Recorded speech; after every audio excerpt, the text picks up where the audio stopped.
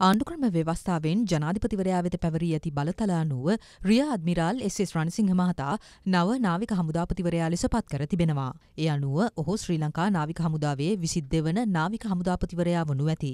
නව පත්වීමත් සමග රියාද්මිරාල් එස්.එස්. රණසිංහ මහතා වයිස් අද්මිරාල් නිලයට උසස් කර ඇති බව ජනාධිපති මාධ්‍යංශය සඳහන් කළා. රියාද්මිරාල් එස්.එස්. රණසිංහ මහතා සිය පත්වීමට අදාළ ලිපිය ජනාධිපති ලේකම් ඔස්ටින් ප්‍රනාාදු මහතා අතින් අද පෙරවරුවේ ලබා ගත්තා. ශ්‍රී ලංකා නාවික හමුදාවේ විසි එක්වන නෞක හමුදාපතිවරයා වූ වයිස් අද්මිරාල් ට්‍රවිස් සින්නයියා මහතා හෙට සිට විශ්‍රාමයන අතර ඔහු නාවික හමුදාපතිවරයා ලෙස පත්වීම් ලැබුවේ පසුගිය අගෝස්තු මස දහට වැනිදායි. දින හැට හතරක දුරකාලයක් හෙබ වූ ට්‍රවිස්සින් අයියා මහතා සැලකෙන්නේ ශ්‍රී ලංකා නාවක හමුදා ඉතිහාසයේ අඩුම කාලයක් දුරය දැරූ නාවක හමුදාපතිවරයා ලෙසයි.